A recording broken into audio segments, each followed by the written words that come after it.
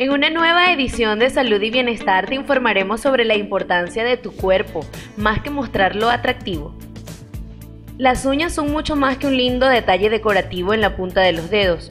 Esta estructura compuesta de queratina y de consistencia dura sirven como protección, aparte de intervenir en el sentido del tacto, la presión y la motricidad fina.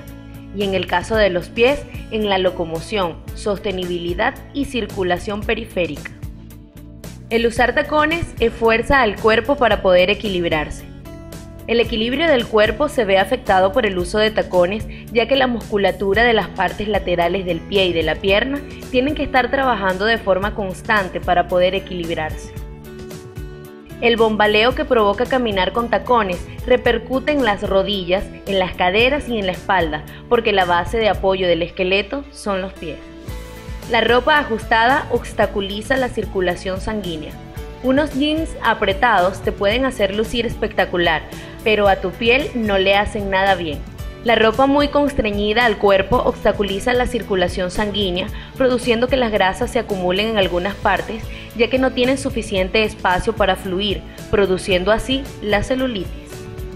Es todo por hoy, soy Eumari Herrera, nos encontramos en una próxima sección de salud y bienestar.